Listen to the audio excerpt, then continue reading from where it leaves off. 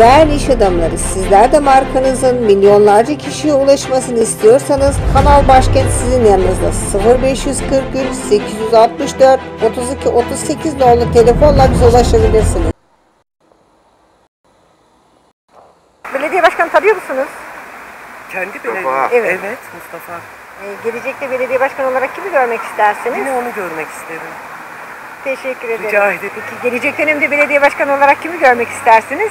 Ee, Valla bana sorarsanız ben şey e, Altınok isterim. Turgut Altınok'u isterim. Peki. Çünkü onun döneminde her şey çok daha düzgündü. Her şeyden önce yani gerçekten pazarlarımızda falan çok daha rahat hareket ediyorduk. Çok daha güzeldi.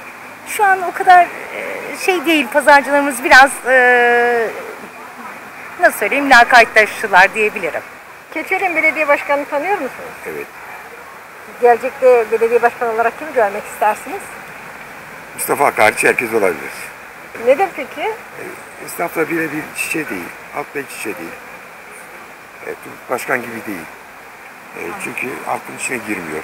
Hiçbir şey Keçören'de e, Turgut Başkan gittikten sonra hiçbir şey yapılmadı.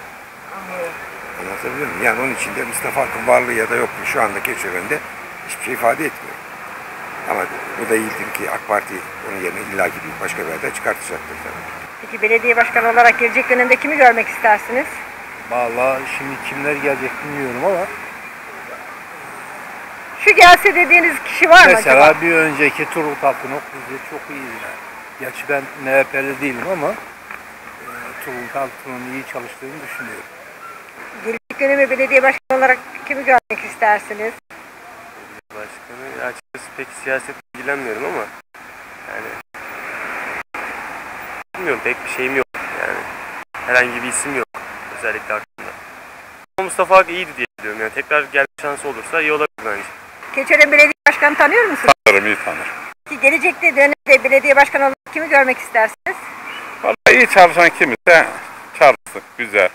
Hizmet eden kimse biz onda yanayız. İyilikte, güzellikte, hoşgörüde. Onda yanayız, iyi hizmet eden de yanayız. Kim gelirse gelsin. Önemli olan ben onu söylüyorum. Yani. Keçiören Belediye Başkanı tanıyor musunuz? Tanıyorum. Ee, gelecek dönemde belediye başkanı olarak kimi görmek istersiniz? Vallahi onu görmek istemiyorum. Var mı başka aklınızda? Benim fikrime aykırı olduğu için görmek istemiyorum yani. İsim de yok aklımda. Belediye başkanı tanıyor musunuz? Tanıyorum. Ee, gelecek dönemde belediye başkanı olarak kimi görmek istersiniz? Valla şu anda düşünmüyorum.